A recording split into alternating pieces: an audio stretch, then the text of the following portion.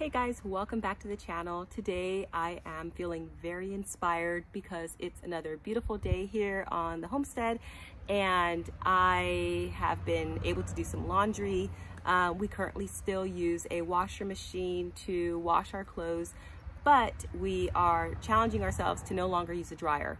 Winter is coming and I know a dryer would probably really come in handy, but we are just, you know, trying to push through and not even purchase a dryer for the winter. We currently have a dryer, but it doesn't work and we're just gonna continue to line dry, um, even inside the house uh, once winter starts. So we'll see how that goes. But something that I want to do really quick is make a DIY spray that can be used on any clothing, any blankets that you're drying outside.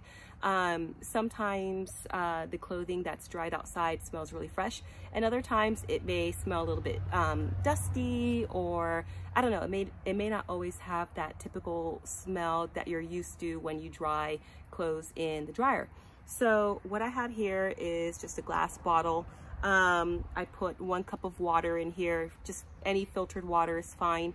And I have some essential oils. So again, I'm feeling really inspired with the sunshine. Summer is over and it's now early fall and it's been starting to get really cold and gloomy on a lot of days.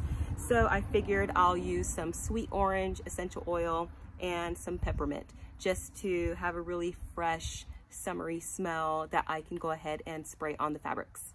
So what I'm going to do is, like I said, get a glass bottle. You can use a plastic bottle as well, but I always opt for glass. Um, that way you don't have to worry about any chemicals uh, being absorbed from the plastics into whatever mixture that you're making. And I'm going to put um, 10 drops of each essential oil in here, mix it up, and then we're gonna go spray it on a quilt that I have line drying right now. So here's the glass bottle. We're going to unscrew the top and then we're going to put about 10 drops of each essential oil into the bottle. Once you're done, go ahead and screw the top back on.